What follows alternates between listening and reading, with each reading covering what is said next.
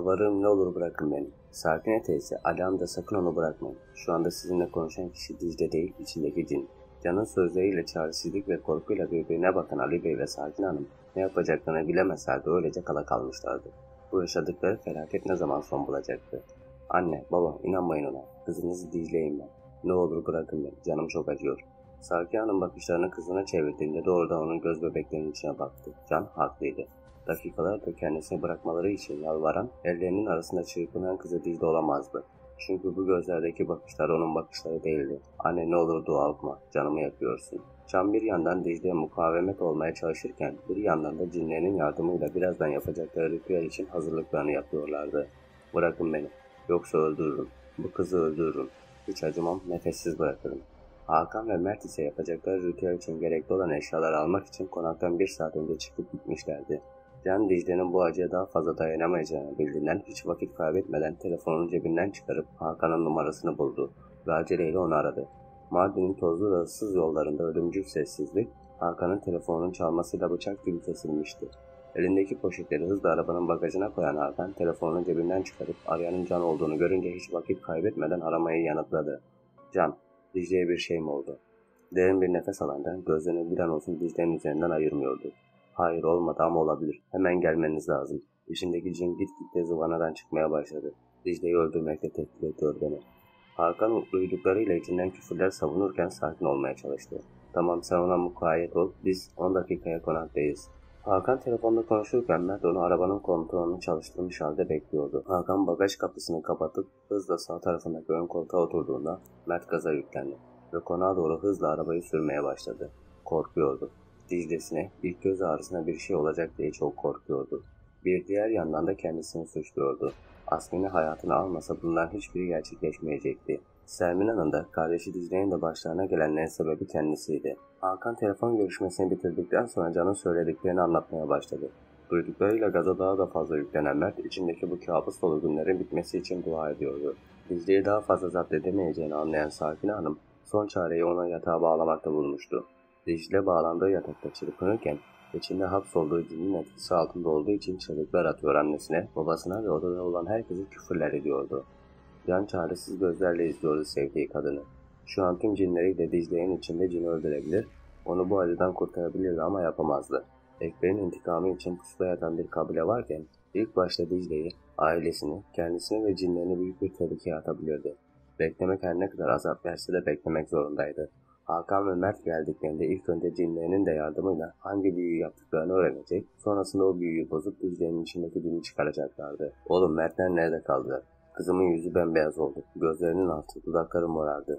Ya ona bir şey olursa, ne yapacaksanız yapın bir an önce kurtarın kızımı.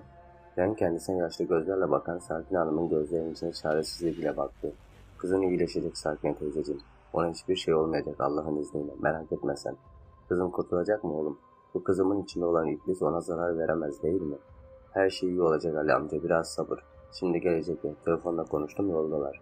Konaktaki çalışanların yarısı odanın içinde, yarısı avluda korku dolu bakışlarla Dicle'yi izliyorlardı. Ali Ağa'nın emriyle hiçbiri kılını bile kıpırdatamıyordu. Dicle'ye bir şey olur da yardıma ihtiyaçları duyarlar diye Ali Ağa herkese hazırda bekletiyordu. Konağın kapısı büyük bir gürültüyle açıldı. Mert ve Hakan ellerinde poşetlerle avludan içeri girerken adamlar arkasında iki siyah tavuk ve bir yaban domuzunu avluya soktular. Can duyduğu sesle oturduğu yerden hızla ayağa kalktı. Geldiler. Dicle'yi salona götürmemiz gerekiyor. Dicle'nin içindeki din, Can'ın sözlerinden ardından daha da hırçınlaşıp Dicle'nin bedenine zarar vermeye başlayınca Can cinlerinden yardım isteyip ona engel olmalarını söyledi. Dicle bileklerinin bağının yatağın demirlerinden çözülmesiyle ve Can'ın cinlerinin kendisine uyguladıkları baskıyla daha da hırçınlaşmıştı. Can, Dicle'nin bileklerinde hala bağlı olan ipleri sıkı sıkıya tutup birkaç kişinin yardımıyla onu kucağına aldı ve salona doğru seri adımlarla yürümeye başladı. İlk önce Dicle'yi sonra da seni öldüreceğim istedik. Beni yenemeyeceksiniz. Bırakın beni. Bırakın. Odadan çıkıp büyük balkonun bir ucundaki salonun kapısından içeriye girdiklerinde Hakan ve Mert koşarak Can'ın yanına geldiler. Ve ona yardım edip dua okuyup çizdikleri tuzdan çemberin ortasında demir sandalyeye dizleri zincirleyerek bağladılar. Herkes ama en çok da Ali Ağa ve Sakin Hanım merakla olacakları beklerken Mert hepsinin avluda oturup kendisine haber beklemesini istedi. Anne ve babası her ne kadar karşı çıksalar da sonunda onları da ikna edebilmişti. Mert salonun büyük ahşap kapısını kapattıktan sonra hem anahtarla hem sürgüyle kapıyı kilitledi. ve tüm perdeleri çekip salonun içinin dışarıdan hiçbir şekilde görünmeyecek hale getirdi. Salona önceden getirilen kara tavuklar ve domuzun çıkardığı seslerin dışında çıt çıkmıyordu. Dicle bile aniden durulmuştu. Can ve Hakan ritüel için gerekli malzemeleri hazırlarken Mert de gözlerinden akan yaşları silmeden kardeşine bakıyordu. Kendimden nefret ediyorum Dicle. Asmin yüzünden, benim yüzümden yıllardır acı çektim. Çok özür dilerim kardeşim. Ben fısıltıyla ve büyük bir pişmanlıkla söylediği sözler Dicle'nin kahkahalarıyla bölünmüştü. Mert ona inanamaz gözlerle bakarken söz sırası Dicle'de, daha doğrusu Dicle'nin içindeki cindeydi. Ah salak Mert, sen karnın koynunda her gece keyif sürerken ben kardeşine işkenceler yapıyor, her günün sonunda yaşadıklarını unutturuyordum. Bacaklarını kullanamayışı, bunu öğrendiği zaman girdiği depresyon hastalığıyla ağrılarının sebebi de bendim. O kadar salaktın ki kardeşin aniden bacaklarını kaybedişinin nedenini doğru düzgün araştırmadım. Çünkü hepinizin zihnini kontrol edip bunu engelledim. O aptal karnım ve Kennas kadınının da yardımlarıyla onu unutmamalıyım. Zaten onların sayesinde şu an bu bedendeyim. Kesnan kadın öyle bir lanetli büyü yaptı ki ne yaparsanız yapın büyüyü bozamayacaksınız. Beni Dicle'den ayıramayacaksınız. Mert'in odaya girer girmez kurduğu üç kamerayla ayrı ayrı noktalarda olan biten her şeyi kayıt altına alıyordu. Bu kayıtlar ileriki zamanda kendilerinin işlerine yarayabilirdi. Kardeşime, Sermina'ya, bize yaptığınız her şeyin bedelini ödeyeceksiniz. Mert, her şey hazır artık başlayabiliriz. Can Ekber'in de yardımıyla saatler sonra zor da olsa hangi büyünün yapıldığını öğrendi. Şimdi geriye büyüyü bozmak ve Dicle ile musallatığın arasında bağı koparmak kalıyordu. Aldığımız zaman soramadım Hakan. Bu kara tavuk ve domuzu da büyüye bozmak için mi aldık? Kara tavuk büyüyü bozmak için kullanılırken domuzu ise onlarla anlaşma yapmamız gerekebilir diye yanımızda tutuyoruz. Her şeyin önemini baştan almamız gerekiyor. Şimdi al şu elimdeki siyah örtüyü. Dicle'nin her yerini örtecek şekilde başının üzerinden ört. Örterken mesmeye çekmeyi unutma. Dicle'nin içindeki cin dualar ile boğuşup kurtulmak için büyük çaba harcarken havası çıktığı kadar bağırsa da bir işe yaramıyordu. Mert mesmeye çekerek siyah örtüyü dizlerinin üzerine örttüğünde kulakları sağır eden bir çığlık yankılandı. Taştan yapılma eski konağın duvarlarında. Beni bırakmazsanız Dicle'yi öldürürüm. Bırakın beni. Bir halt yapamazsın şerefsiz pezemek. Bak bakalım şimdi ben sana neler yapıyorum. Can öyle çok sinirlenmişti ki Dicle'nin içindeki cinin canını almamak için kendini zor tutuyordu. Onun hak ettiği ceza esasında buydu ama mecbur olmadıkça, zorda kalmadıkça Allah'ın verdiği canı alamazdı. Hakan Bakır bir kap ve bıçak alarak Mert'in yardımıyla Dicle'nin baş parmağını kesip yeteri kadar kanı bakır kaba dualar ile akıtıp tası cana uzattı. Can Kur'an-ı Kerim'den sureler ve ayetler okuyarak büyüyü bozmak için bir karışım yapmaya başladı. Saf saman kağıdına saf mürekkep ile vekifler çiziyor, dualar yazıyordu. Mert ise olacakları büyük bir korkuyla bekliyordu. Tek istediği kardeşinin başına bir şey gelmeden bu beladan kurtulmaktı. Tıpkı anne ve babası gibi. Dualar ve vekifler yazdığı kağıtları ocağın üstünde kızgın halde duran tavanın içine yakıp kül ettikten sonra o külleri okuduğu suyun içine döken Hakan bardağı cana uzattı. Can ve Mert göz göze geldiklerinde Mert ne yapması gerektiğini anladı. Örtünün altına girip kardeşinin başına sabit bir şekilde tutarken ağzının kapanmasına engel oluyordu. Can suyun birazını örtünün üzerine döküp dualar okumaya başlarken cinleri ve Hakan da dualar ile ona eşlik ediyordu. İzleyici kontrolü alınamaz bir hale gelmişti. Nefes alışverişi sıklaşırken soğuk soğuk terliyor, bembeyaz suratıyla her an kusacakmış gibi duruyordu. Bedeninde oluşmaya başlayan sıcaklık içindeki cinin kendisini yavaş yavaş yakmaya başladığının habercisiydi. Hayır, başaramayacaksınız. Beni bu bedenden çıkaramayacaksınız. Bana zarar veremeyeceksiniz. O benim, o benim. Size vermem. Canın uzattığı bardağı alan Mert Dicle ağzını kapatamadan kalan suyun birazını zorla içilmiş, birazını da yüzüne vücuduna sürmüştü. Dicle suyun vücuduna değmesiyle feryat edip ağlarken sanki su değil de lav içmişti. Canı öyle çok acıyordu ki bu acının tarifi olamazdı. Mert tekrar eski yerine döndüğünde Hakan Dicle'nin doğum tarihini, anne ve babasının adlarını, isimlerini bir kağıda yazıp kaynamakta olan suyun içine attı. Hakan ile Can gözlerini kapatıp adı adına bu duayı okumaya başladı. Onlar duayı okudukça Dicle'nin içindeki cin çok kötü bir azap çekiyordu. Söyle ey kafir, adın ne? Kaç yaşındasın? Dinin ne? Allah'ın psikololeri, ahmak insanoları, rahat bırakın beni. Size hiçbir şey söylemeyeceğim. Allah rızası için çık bu bedenden. Asla, asla çıkmam. Bir daha söylüyorum. İsmini, yaşını söyle ve bu bedeni terk et. Eğer beni dinlersen ben ve arkadaşlarım sana zarar vermeyeceğiz. Hayır, ne yaparsanız yapın Dicle'yi benden ayıramayacaksınız. Son defa soruyorum. Allah rızası için bu kızı rahat bırak ve bedenini terk et. Yoksa seni yakıp öldürmek zorunda kalacağım. Hayır, hayır bırakın beni. Onu asla bırakmam. Hakan ile Can Dicle'nin içindeki musallat olan cini üç defa Allah rızası için uyarmış, üzerlerine düşen görevi yerlerine getirmişlerdi. Can iplerle bağlanmış kara tavukların her birini kucağına aldıktan sonra büyüyü bozmak için işlemi yapmaya başladı.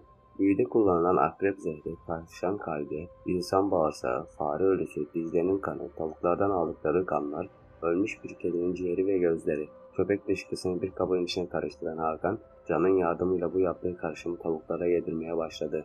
Can bir yandan kucağındaki tavuğu tutmaya çalışırken, bir yandan da büyü yapılırken okunan duanın tersini okuyordu. Tavuklar karşımda yedikçe şişiyor, çırpınıp Can'ın kollarından kurtulmaya çalışıyorlardı. Ama Can'ın güçlü kollarından kaçmaları imkansıza yakındı.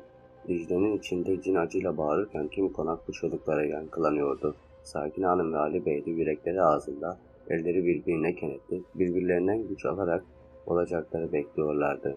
Ya Allah, Ya Muhammed, Ya Ali, Bismillahirrahmanirrahim. Can duayı bitirir bitirmez tavuklar kucağında patlayarak paramparça oldu. Tavukların organları ve tüyleri salonun her yerine dağılırken Mert bu görüntüyle az kalsın kusacaktı. Kucağındaki parçalanmış tavukları yerde serili olan sofra bezinin üzerine koyan Can, tavukların içinde büyünün yazılı olduğu kağıtları ve muskaları mesmele çekerek çıkarmaya başladı. Hakan ise hiç vakit kaybetmeden dua okuyarak kağıtları ve muskaları açıp resimlerini çektikten sonra onları yakıp büyüyü etkisiz hale getirdi. Dicle'nin içindeki cin son bir hamle yapıp Dicle'yi boğmak istese de Can'ın cinleri buna izin vermemişlerdi. Yarım saatin ardından kanlı elleriyle tavukların içini deşmeyi bırakan Can, ellerindeki kırık tavuk bacaklarını sofra bezinin üzerine bırakıp gülümseyerek Mert'e baktı. Bitti kardeşim, bitti. Kardeşim, Dicle kurtuldu sayılır. Çok az kaldı. Mert içinden şükür duaları ederken Hakan ve Can göz göze gelip artık yapmaları gereken şeyi yerine getirmek için ayağa kalktılar. İkisi de ellerini temiz bezlerle sildikten sonra Dicle'nin yanına geldiler. Hakan Dicle'nin başındaki örtüyü kaldırmadan ona sımsıkı tuttu. Can ise Dicle'nin içindeki cinin yanması için duaları okumaya başladı. Ayetel Kürsü, Felak ve Nas surelerini okuduktan sonra Dicle'nin içindeki cin, Can'ın cinlerinin de etkisini baskı yapmasıyla daha fazla dayanamayıp acı çığlıklar atıp ve dualar ederek yanmaya başlarken Dicle örtünün altında iki büklüm olup övülerek kusmaya başladı. Mert kardeşinin üzerindeki örtüyü atıp onu bayılmadan son anda tuttu. Üçü birbirlerinin gözlerinin içine baktıklarında hepsinin aklında tek bir düşünce geçiyordu. Dicle'nin ardından kurtulma sırası Sermena'ya gelmişti. Bir saat sonra. Konaktaki herkes Can ve Hakan'a yardım etmek için seferber olmuştu. Dicle'yi odasındaki banyoya götürdüklerinde Sakin Hanım kızını kendi elleriyle yıkamış, sonrasında Mert'in de yardımıyla onu yatağa yatırmışlardı. Dicle derin bir uykudayken Ali Ağa ve Sakin Hanım bir an olsun kızlarının başından ayrılmıyorlardı. Hakan, Mert ve Can ellerindeki kamera kayıtları ve büyü delilleriyle hiç vakit kaybetmeden jandarmanın yolunu tuttular. Komutanı olana biteni izlediklerinde ilk başta bunların birer montaj olduğunu düşünen komutan delilleri gördüğünde hiç vakit kaybetmeden yanına aldığı bir ekip ile Kenan kadının evinin olduğu yola koyuldular. Tüm bu olanları korkuyla izleyen Kesnen kadın cinlerinden jandarmaların buraya geldiklerini öğrenince çok önemli birkaç eşyasının yanına alıp Aslı'nın evin arka tarafından kaçmaya başladı. Ama hesaplayamadıkları bir detay ikisinin de kolayca yakalanmalarına sebep olmuştu. Jandarmalar evin önünden giderken can cinlerinden aldığı haber ile Hakan ve Mert ile evin arkasından dolanıp Asmin ve Kesnen kadını kıskıvrak yakalamışlardı. Kesnen kadını Hakan ve Can tutarken Asmin'i ise Mert tutuyor, kımıldamasına bile izin vermiyordu. Asmin yaşlı gözlerini Mert'in gözlerinden gözlerini kaçırırken Mert onu hiç beklemediği bir anda çenesinden tutup gözlerince nefretle intikam dolu bakışlarla bakmaya başladı. Sen lanet bir insansın. Allah senin belanı versin Asmin. Seni hayatıma aldığım güne lanet olsun. Ben ne yapmıştım sana? Ben ne yaptıysam seni. Sus, sus. Bana aşktan, sevdadan bahsetme. Sen aşk ne demek, sevda ne demek bilemezsin. Ben ne yaptıysam seni sevdiğimden yaptım ağa. Dicle beni hiçbir zaman sevmedi. Bizi hep ayırmaya çalıştı. Ondan intikamımı böyle aldım. Mutlu olalım, aramıza kimse girmesin diye yaptım ne yaptıysam. O Sermina denilen kızı ilk gördüğümde anlamıştım ona aşık olacağını. Bu ne kadar acı bilir misin? Kocanın kalbinin başka bir kadına ait olacağını bilmek. Dicle'yi kurtardın ama onu kurtaramayacaksın. Sen de benim çektiğim acıyı çekeceksin. Beter ol. Allah belanı versin. Biraz olsun gerçekten beni sevseydin, biraz olsun bana sahip çıksaydın, bunların hiçbiri olmayacaktı. Mert Asmin'in sözleriyle delirmenin eşiğine gelirken jandarmalar Asmin'in onu elinden tam zamanında almışlardı. Mahallenin kör karanlığında içindeki yangınla baş etmeye çalışan Mert, daha fazla dayanamayıp olduğu yere dizüstü çöktü ve avazı çıktığı kadar Selma'nın ismini bağırarak ağlamaya başladı. Jandarmalar onu sakinleştirmeye çalışırken Ervat tüm bu olanları ateş saçan gözleriyle izliyordu. tüm planları alt üst olmuştu.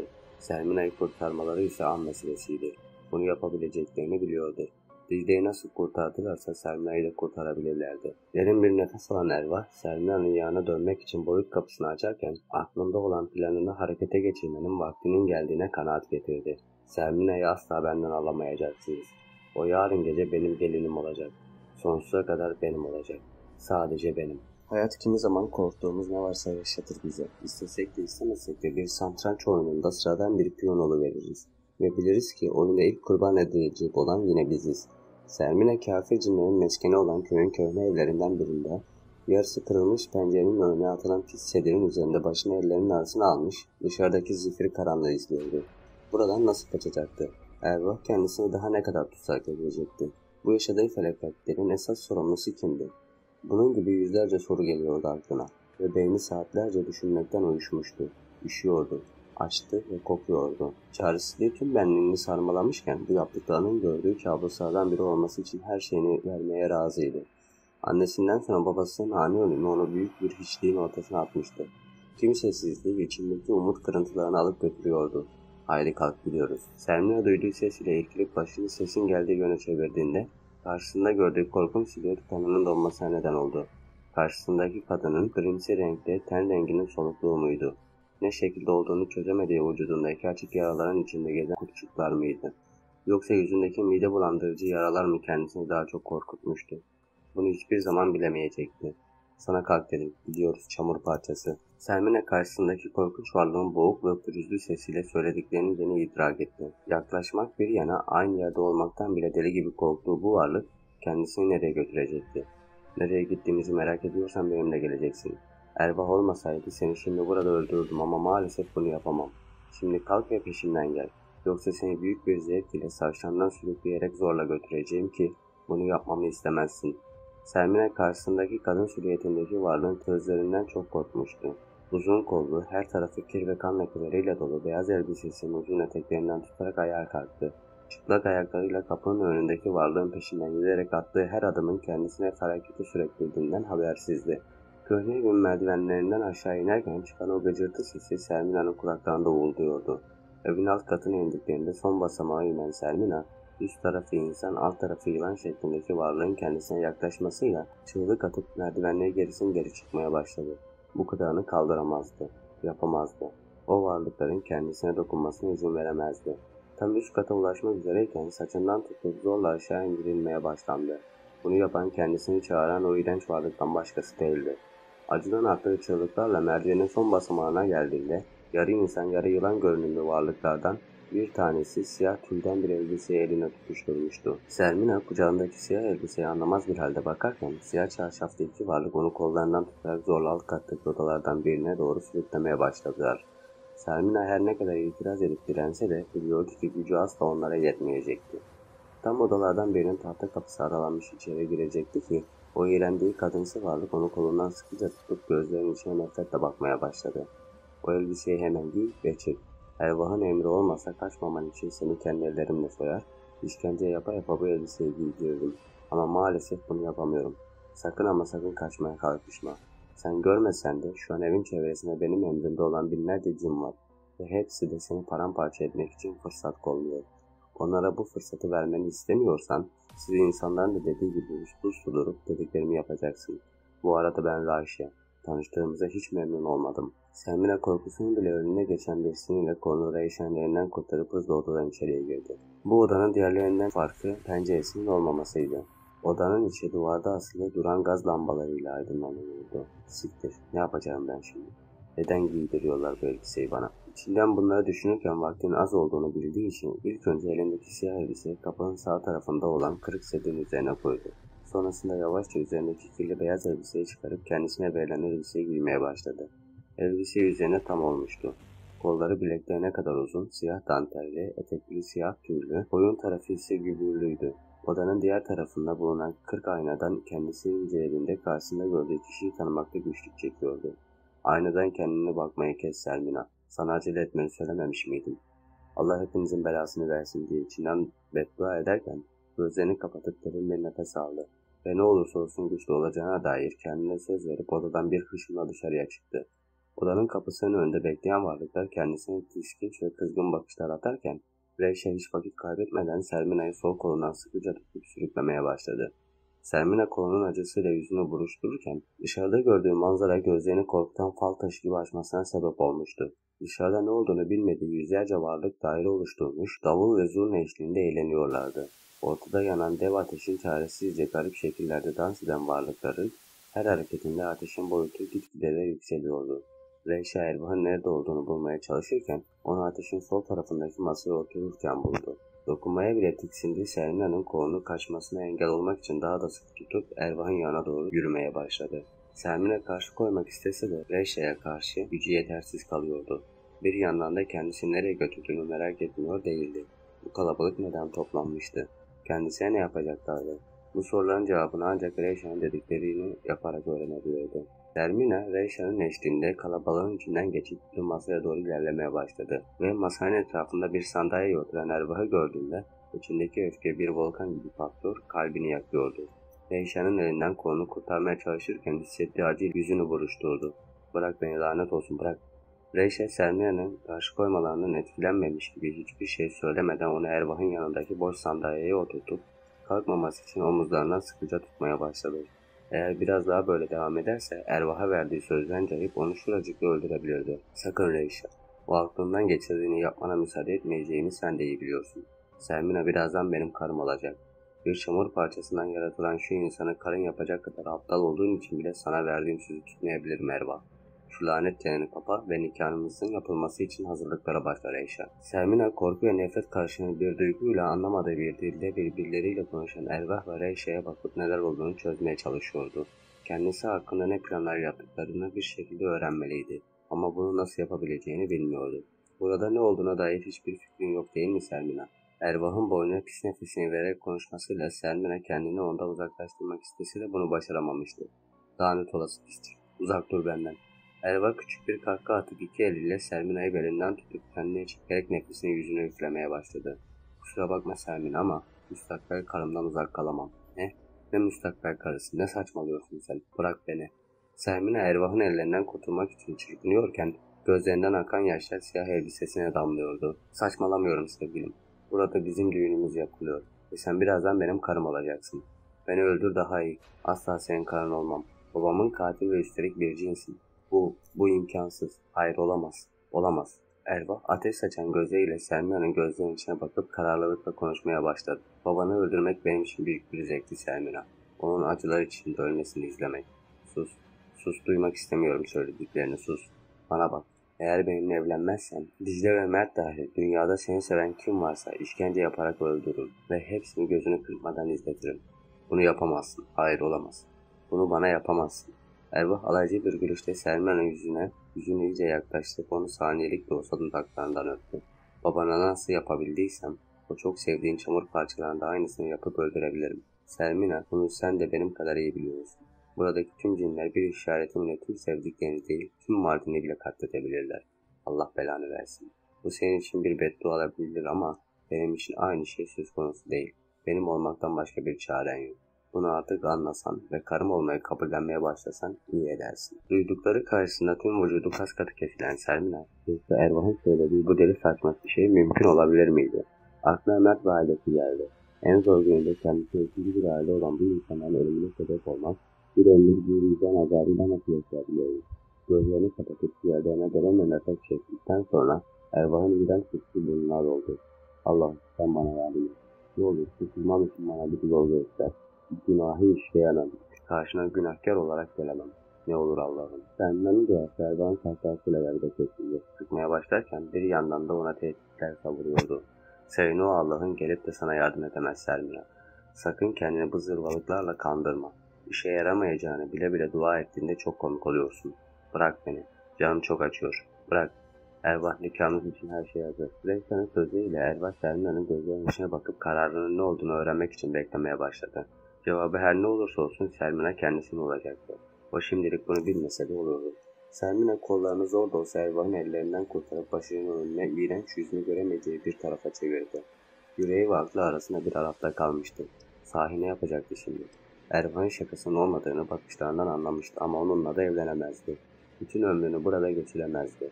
Yaşlı gözlerini zor da olsa Erva'nın ateş saçan gözlerini dikip ona yalvarmaya başladı. Erva ne olur bunu bana yapma. Olmaz anlamıyor musun olmaz. Ben seninle evlenemem. Bu hem çok günah hem de imkansız. Sen bir insan olsaydın bile seninle evlenmezdin.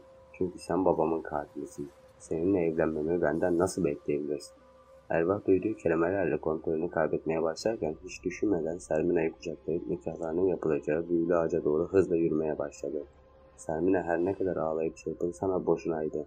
Ervah tekme ve yumruklarından zerre etkilenmiyordu. Bırak beni. Ervah bunu bana yapma. Ben babamın katiliyle bir ciniyle evlenemem. Bırak beni.